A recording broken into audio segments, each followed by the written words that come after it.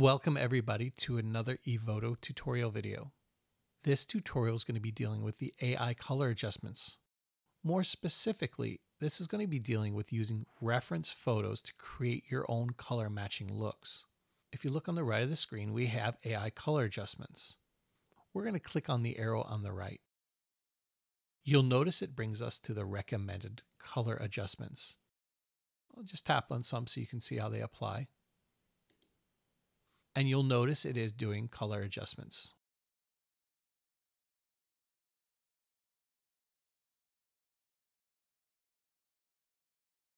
But this tutorial is going to be dealing with how to upload your own images for color referencing. There are two ways to enter this. First, I'm going to close this just so you can see. If we hover over Create Look for Color Matching, watch what happens. We get two options upload for color matching or create color match. Again, that is also within this tab as well. So we're just going to start here and we're going to upload for color matching. I already have a folder with reference images. So we're going to start out with one reference image. I'm going to click on this one. You'll notice that it took this image that I selected and it color matched our current image to this color match reference image. If we click on the image, you can see it a little larger. Notice how the sky changed. Notice how the color of the grass changed. Notice how the skin tones changed. You can see here the skin tones now match the skin tones on the woman in this photo. The colors of the greens match the color of the greens. Everything changed to match the new image. One advantage that Evoto has over any other color matching program is that Evoto has built in masks. Evoto just doesn't create an overall color for the entire image. It is actually able to match the skin to the skin. It's able to match the sky to the sky. It's able to match a tree to a tree. Other programs just create an overall. Evoto goes many steps further than that. Remember, Evoto has great object detection. It has great skin detection, it has great person detection, face detection. It has a lot of detections built in. So Evoto used all those masks with their color match in mind. Let me show you the before and after of this image. Let me bring it closer to the reference image. And here's another image I'm going to use the same picture for. Click on the picture again. And here's the before and the after. Again, notice how the tree matches perfectly with the tree in this image. The greens are the same. Little brown parts here, they're the same. The sky, if you notice up in this area up top, it's the same color. There's a little more blue in here. It's harder to see. That matches the blue here. The skin tones match perfectly. The grass matches perfectly. See this tree here? Evoto's drawing on this for the grass color.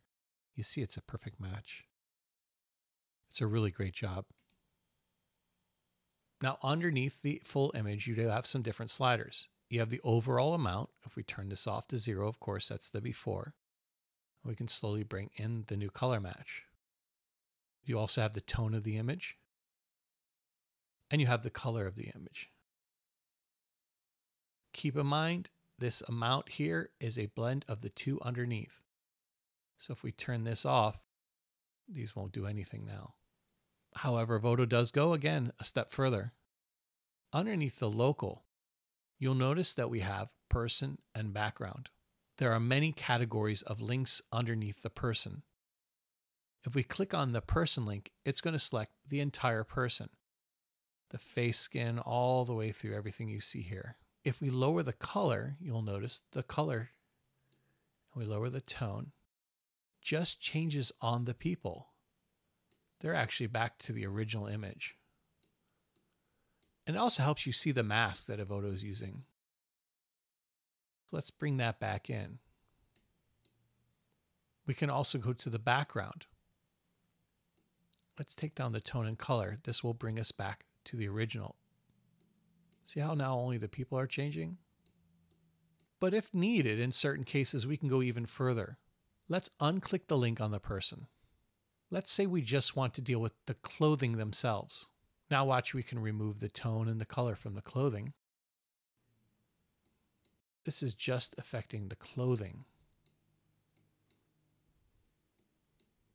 So let's select just the face skin. This is something you wouldn't normally want to do in an image like this, but we can remove the color and we can remove the tone from just the face skin.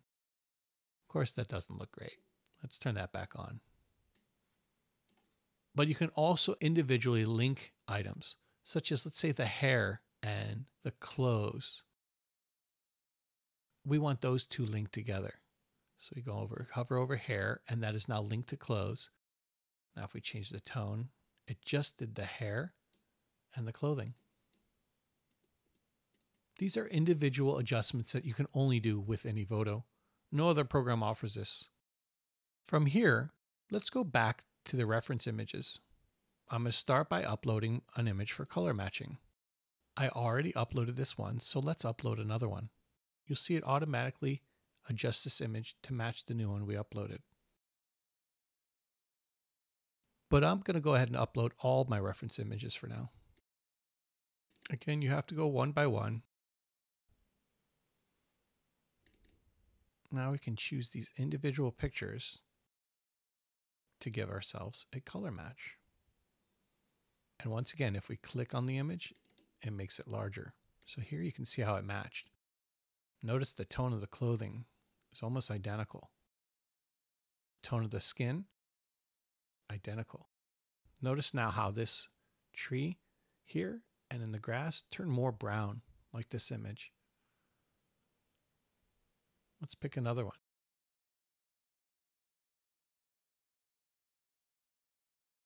Notice the greens match again, the skin tones match again. Now let's pick a different image. Once we have an image picked, we already have these uploaded. And we can simply click on an image to reference. Notice how much the greens now match. Look at the skin tone match. It's almost perfect. Notice even the trees outside the window, how much they match. Notice how the sky now matches so much better too.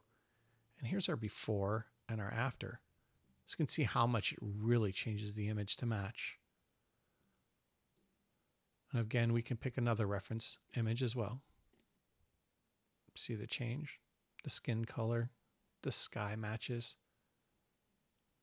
the overall tones match. Notice how the whites in the dress match. Again, notice the greens, the sky, the skin tones. See how the legs match? Everything matches so well. So that's dealing with the upload for color matching. Now, another part of AI color matching is create color match from preview. What this means is the preview that you see on screen. Once we click on create color match from preview, it will create another color match using this image on screen. So let me show you how this works. We're going to click create color match from preview. It's taking this image and you'll notice it goes into my looks. Now we have another reference image that we can use. So I'm going to apply this image to let's say this picture down here. This works really great to balance out images taken, let's say, on the same day, and some of the images are a little bit different than others. So this next section in the tutorial will show you how to use that to your advantage, as well as a tip that you might not think about.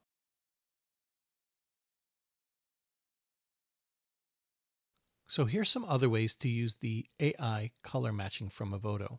It doesn't just apply to taking colors from a completely different image and applying it to a group of photos.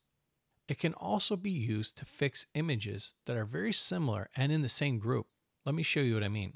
We have these four images here. They were all taken outdoors. You'll notice that one of the images, this one, the sun was out. And with the sun out, you'll notice that it casts different colors throughout the image. You can see the difference in the grass.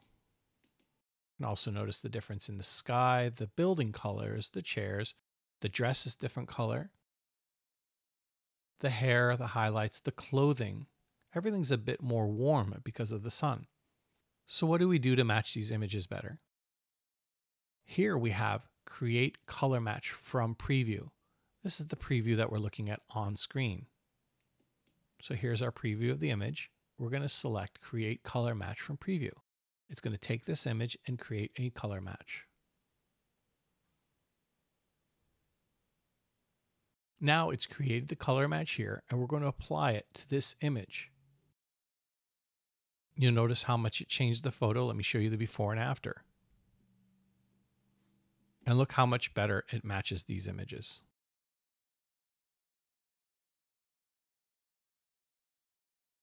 Again, this is the before and after.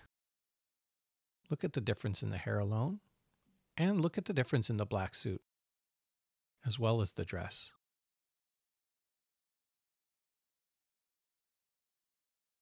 Now, here's another tip and something to be aware of. Let's say we decide to take a different image in this group. Let's say this image here. And we want to match these images to this image. Again, what we're going to do is start by creating a color match from preview. Once that's created, we can apply that to the other images.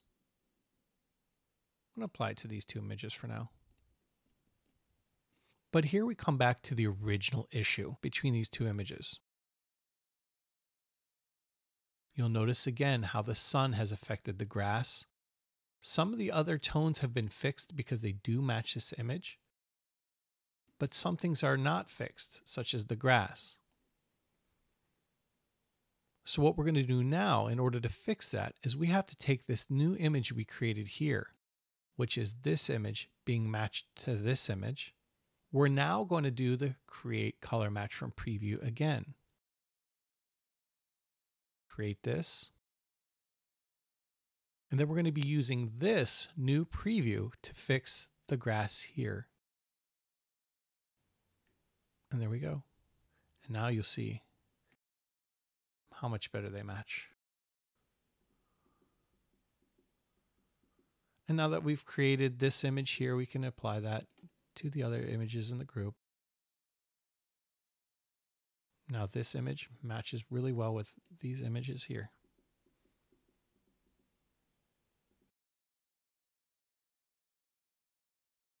Now I'm going to show you a quick way to apply the color preset to all your photos. Something simple you might want to do is you might want to just highlight all your images. Notice how they all turn white. From here, you can select an image you want to apply the preset to. Notice how on the bottom here, this is yellow. We're going to apply the preset to this image. Let's start with this preset. And now I decided I want to try a different one instead. And now I want to apply this preset to all the images. The yellow one, consider this now to be your sync picture. Everything else that's highlighted in white will sync to this yellow image. So we'll hit sync.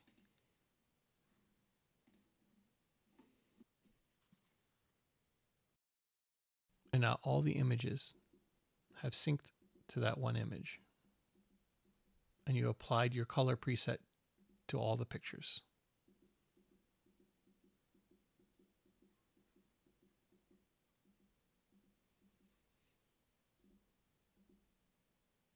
And if you do want to reset this, I want to show you something. You can also reset the master image. And then you can once again sync that to all the other photos. Now they've all been reset. So that's your tutorial on using reference images for AI color adjustments. I will be checking the comments below, and if there are questions, I will try to answer them the best I can. In the meantime, use a Evoto and make some amazing art.